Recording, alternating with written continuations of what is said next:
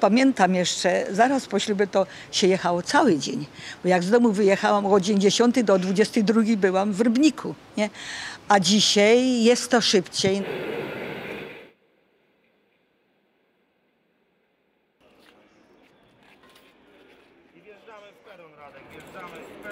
Takimi pociągami zmienimy polską kolej, wprowadzamy standardy europejskie, pasażerowie będą mogli kursować z wielu miejscowości naprawdę komfortowymi, wygodnymi pociągami.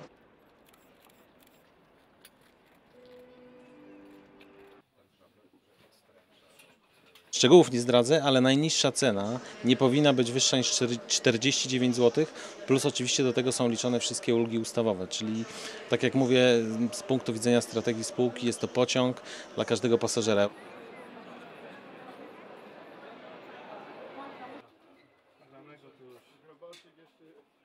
Jakie wrażenie na tobie zrobił, zrobił ten wagon?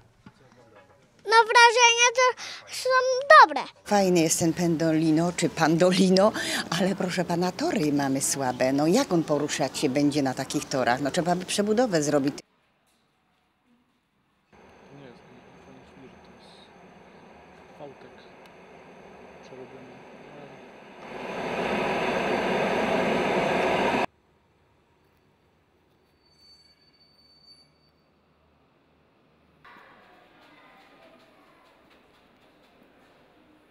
Sporo jest tych utrudnień. Poza remontami, rewitalizacją, modernizacją, także przeszkody terenowe powodują, że rozkład jazdy musi być e, wydłużony, w rozkładzie jazdy musi być wydłużony czas przejazdu e, dla pociągów kolei śląskich.